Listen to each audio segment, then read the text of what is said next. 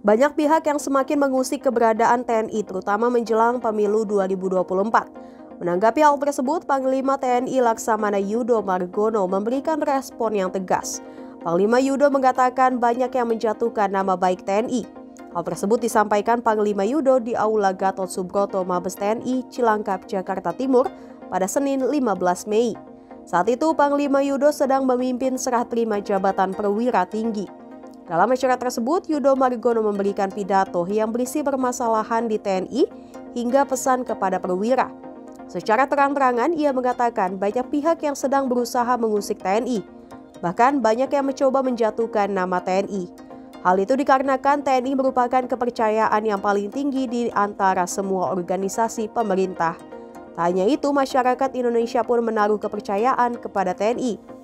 Namun hal itu sedang diobrak-abrik oleh oknum Menanggapi